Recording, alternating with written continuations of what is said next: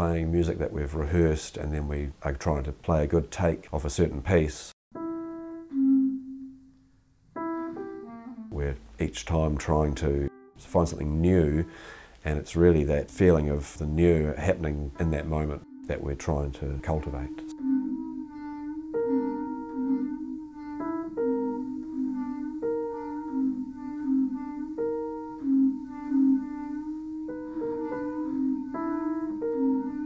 The rules in terms of how we play are really just that we're all responsible for a unique sound. So the basic rules of Western music, they're not really important.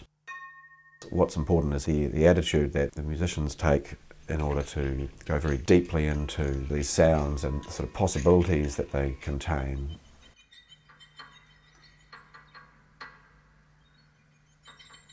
So th that does mean that there are no wrong notes and there are no wrong choices.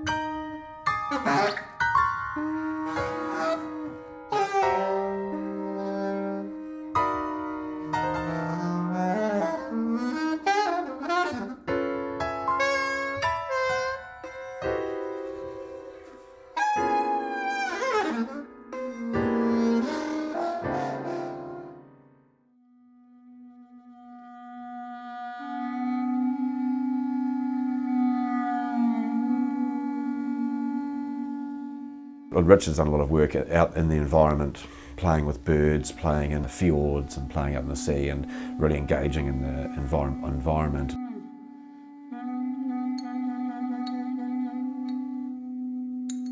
And I suppose that really comes into the music as well. That sort of sense of space that allows for the environment to enter or for an imagined environment to enter.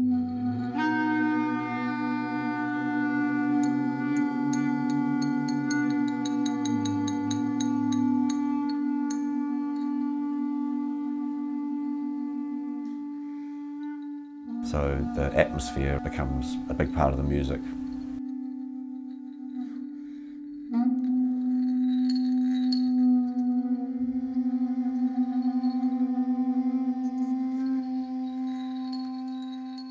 Richard and I were big fans of Marilyn's music and um, invited her to come over to play, which she did.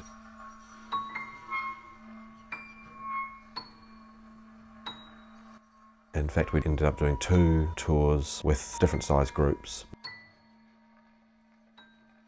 As the music progressed over those projects, it became sort of freer and more open and more improvised.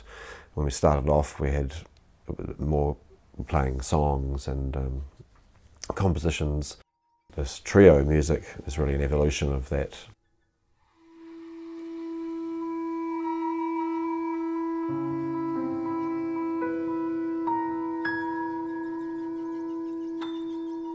but it's more sort of distilled and open.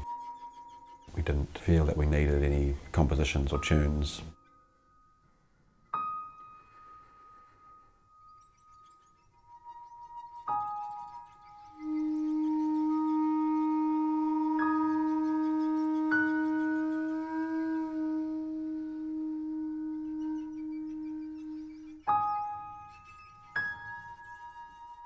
So on the day of the recording, the music would begin with the choice of instruments was pretty much the starting point. I'm going to play this, Richard's going to play this, Marilyn's going inside the piano. Um, I think sometimes we would discuss what we would do if we're going to do, all do a vocal piece, then we'd state our intention to do that. It was pretty much as far as it went.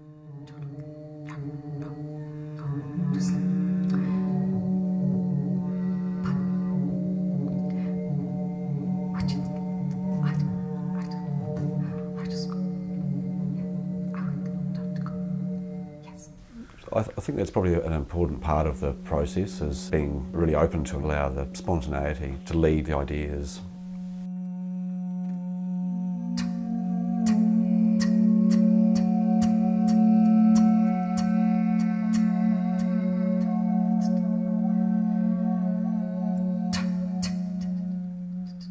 For this music, the texture and the, the sounds become vital rather than, say, notes.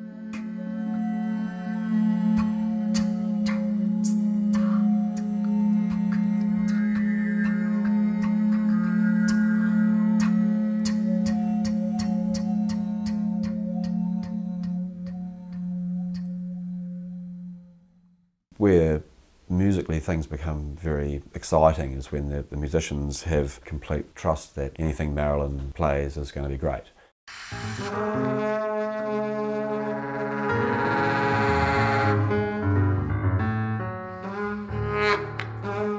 Or that whatever I bring to it, I don't need to have any worries about doing something that's maybe going to be rejected for any, any reason.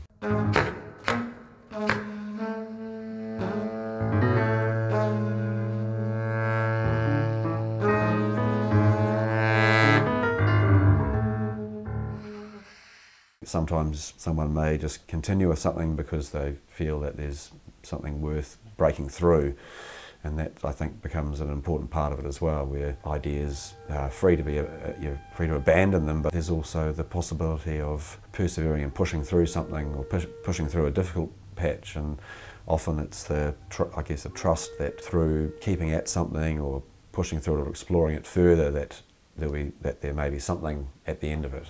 Think is a big part of improvising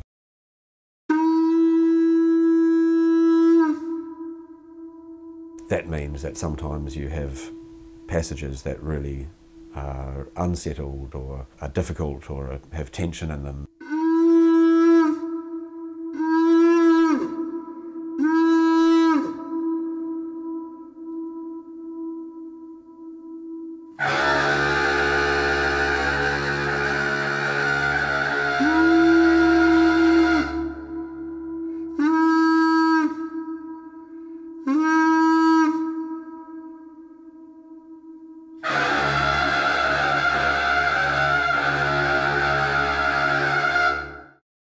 There's not a, a, hierarchy in terms of the how instruments should exist together.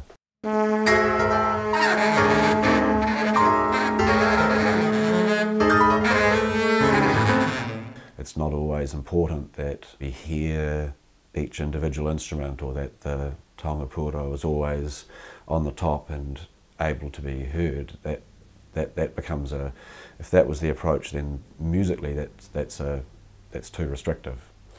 Dynamically, you know, the music needs to be able to uh, have have no restrictions in terms of the materials that we're able to use.